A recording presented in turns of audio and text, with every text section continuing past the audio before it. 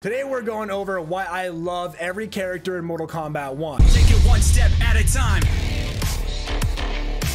Subscribe here for more Mortal Kombat content and let's get into it. Dude, Katana is so underplayed, man. She's actually great and the fan combos are sick. You can just keep your opponent in the air the entire time. Yo, Mileena's actually super fast, super dope, and the combos are just fun. Yo, Tanya's got it all, man. She's got a parry, she's got projectile, she's got overheads, lows, good specials. What more do you want? Why is nobody playing Tanya, man? The really good thing I like about Rain is the low overhead trap setup. God damn, it's so good. Dude, you got mix-up game on everything. Every string, every special, you name it. Somewhere there's a low and overhead. For some reason, I just like Scorpion more in this game personality-wise than I ever had before. As a moveset, he's not bad. This is by far the best version of Reptile we've ever had. I love that's like a human reptilian mix in his moveset. Oh my gosh, the animations are awesome. Ice Clone is back and man, it is such a great tool. You basically just get to punish jump-ins or move-ins and then just get free combos off. I love the dragon aesthetic, Li Mei, and the lantern setups just feel so good to pull off. I can't play puppet characters, but man, I respect those that can because it is so cool to watch. Like whenever I lose to a good Kenshi, I'm like, okay, I deserve that. That was pretty good. Great lows, great overheads, fun combos, good reach. Man, he's got it all, dude. The time stuff you can do with Geras is probably the coolest things I've seen in a Mortal Kombat game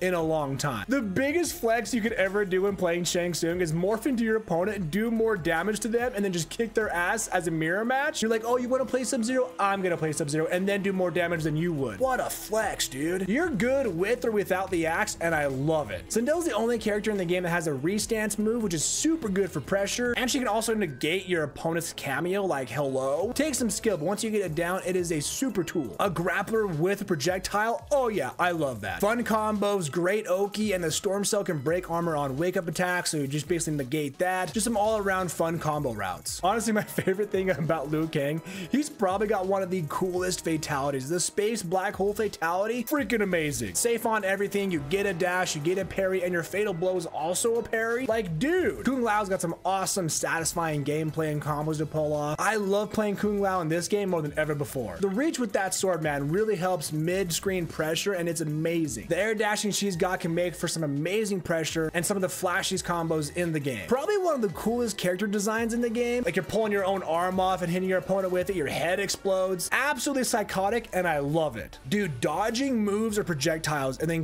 grabbing your opponent and punishing them off of that, there is no better feeling. Like I'm chasing that high every game. Let me know down below, what do you love about characters in Mortal Kombat 1? Did I get your main character right in this? Let me know down below. Subscribe here for more Mortal Kombat content. Turn that bell on so you don't miss a thing. I'll see you in the next one. Until then, just take it one step at a time.